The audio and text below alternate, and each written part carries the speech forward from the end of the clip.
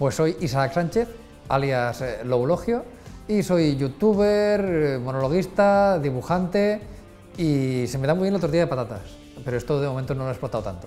He venido aquí a, bueno, al Tracking Bilbao a hablar de mi cómic, de, de- de mi niño, de mi proyecto de, de dibujante de cómics, y la verdad es que muy contento de poder tener contacto con la, con la gente que lo está leyendo y, y ese feedback y ese hablar un poquito también de, de- del mundillo, del friquismo del cómic que me gusta a mí y pasar un rato agradable.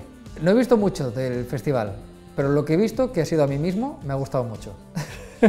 no, en serio, me parece que es una iniciativa súper chula.